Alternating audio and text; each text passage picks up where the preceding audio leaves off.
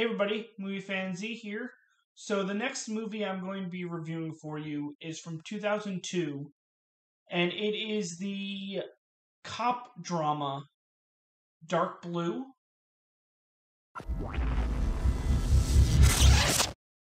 So in this movie, you have Kurt Russell, who plays veteran cop Eldon Perry, who you find out is a corrupt cop. And it deals with a homicide.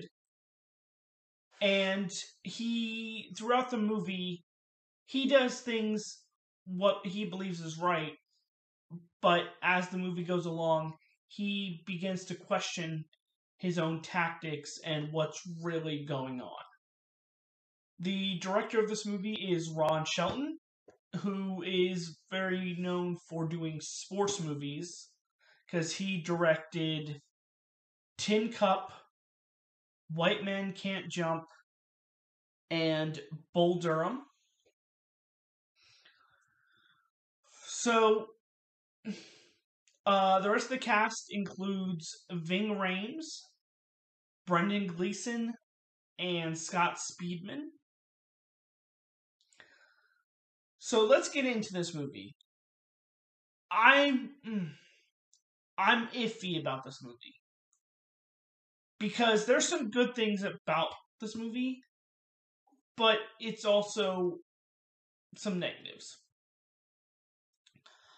On the positive side, Kurt Russell gives a great performance, and he's someone that you don't want to root for, but he does it so well.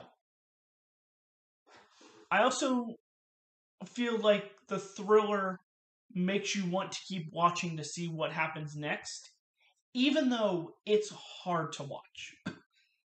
because who wants to watch a movie about cop corruption?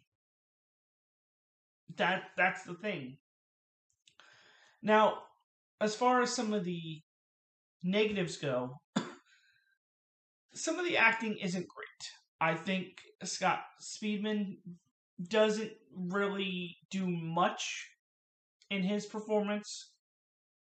And I kind of think Brendan Gleeson was kind of laying low in a way. And also, like I said, this movie is kind of hard to watch because there's not anybody you really root for for the most part. Maybe Ving Rhames, but that's basically it, and you don't get much of him in the movie. So, overall, it's not a movie I'm going to watch again. So, I'm going to give it a 3.5.